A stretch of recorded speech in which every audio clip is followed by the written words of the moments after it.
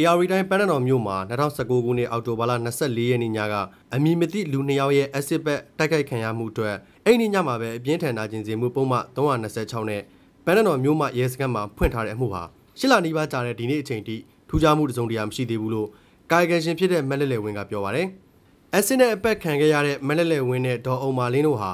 acid တန်ကြောင့်ဆေးကုသနေရတဲ့အတွက် ဒေါ်မာလင်းရဲ့ဒေါ်ဖြစ်သူဒေါ်မြစင်ကသူတို့နှစ်ယောက်ကိုသာရဲစခန်းမှာအပြင်းထန်နာကျင်စေမှုနဲ့အမှုဖွင့်ခဲ့တာဖြစ်ပါတယ်။ပန်းတော်မြို့နယ်ရဲစခန်းမှုအစ်စ်ပြောင်းလာပြီးတဲ့အချိန်ဇွန်လ10ရက်နေ့မှာတော့သူ့မှုချင်းတွေကိုသိရဖို့တွားမေးခဲ့ပြီးအမှုအမြန်ပေါ်ဖို့မျှော်လင့်မိတယ်လို့မက်လက်ဝင်းကပြောပါတယ်။ သူပေါ့နော်ဒီအမှုကိုအခုသူအမှုရှင်းမှာ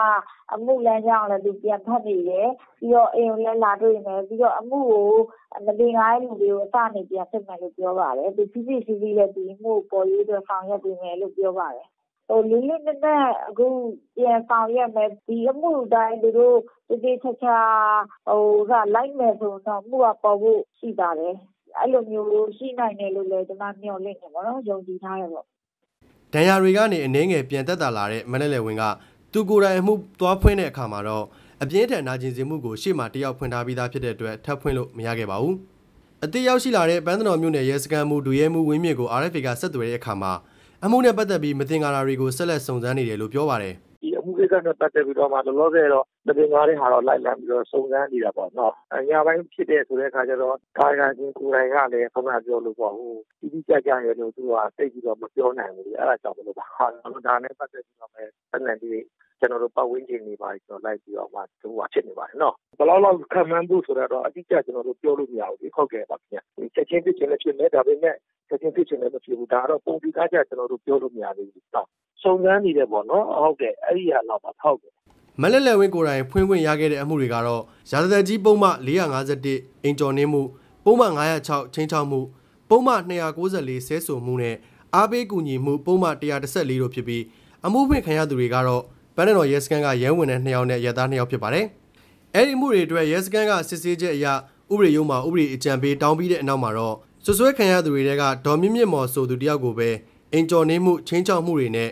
ပန်းတော်မြို့နယ်တရားရုံးကိုတရားစွဲဆိုတင်ပို့ခဲ့ပြီးလက်ရှိအမှုဆက်လက်စစ်ဆေးနေပါတယ်။ဒီမှုတွေကလည်းတိုက်ခိုက်မှုဖြစ်ပွားခဲ့ပြီး၄လအကြာ2020ပြည့်နှစ်ဖေဖော်ဝါရီလမှာ RFA ကသတင်းထုတ်လွှင့်ခဲ့ပြီးနောက်မန်လ19ရက်နေ့မှာမှဘန်တော်ရဲစခန်းမှာအမှုဖွင့်ခွင့်ရခဲ့တယ်လို့9လအကြာမှာတရားရုံးကိုရောက်ရှိခဲ့တာဖြစ်ပါတယ်